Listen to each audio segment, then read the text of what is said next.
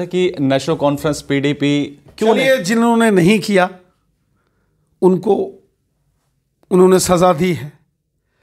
और हमारा कोशिश है सबका साथ सबका विकास सबका विश्वास हम सबका भला कर। बहुत बहुत स्वागत है आपका जेके ट्वेंटी फोर सेवन में। क्या कहना चाहेंगे गृह मंत्री के साथ मुलाकात हुई है वीडीसी वालों की?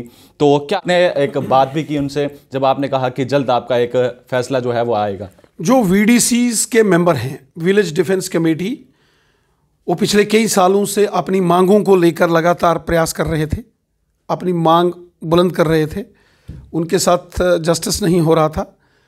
और जब यहाँ गवर्नर रूल आ गया तो हमने बार बार माननीय उपराज्यपाल महोदय जी से वीडीसीज के इश्यूज़ को उठाया। और पिछले दिनों जब यहाँ गृह मंत्री अमित शाह साहब आए थे, उनके सामने भी हमने बात रखी, मैंने खुद दिल्ली में कई बार बात की। कल Bharatiya Janata party VDC cell के साथी सुनील शर्मा साहब भी उसमें शामिल थे हमारे महामंत्री। उन्होंने शाम को माननीय गृह मंत्री जी से मुलाकात की है और गृह मंत्री जी ने ये आश्वासन दिया है आश्वस्त किया है कि वी के जो मेंबरों के मतालवे हैं वो सारे हल किए जाएँगे।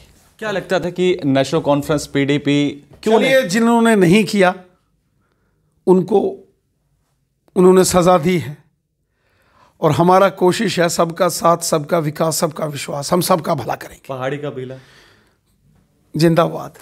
देखिए साफ़ तौर पर हमारे साथ बातचीत करने के लिए रविंदर राणा जी थे जिन्होंने साफ़ तौर पर ये कहा कि जल्द वीडीसी मेंबर्स के लिए जो है एक बड़ा फैसला जो है वो आने वाला है। और आप बने रहे जेके ट्वेंटी फोर सेवन के लिए। कैमरा पर्सन दीपक कुमार के साथ अनिल शर्मा की रिपोर्ट जम्मू से।